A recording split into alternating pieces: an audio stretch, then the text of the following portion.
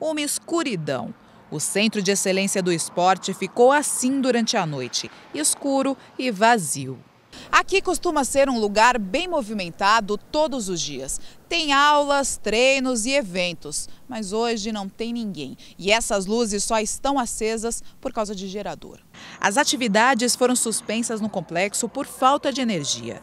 A Enel cortou a luz do Estádio Olímpico, do ginásio Rio Vermelho e também do Autódromo de Goiânia.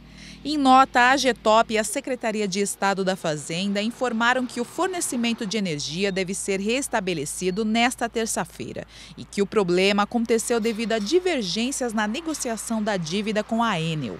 Durante o dia, as quadras do Centro de Excelência ficaram vazias. Eu tinha saído de casa e eu vim, porque não tinha como voltar.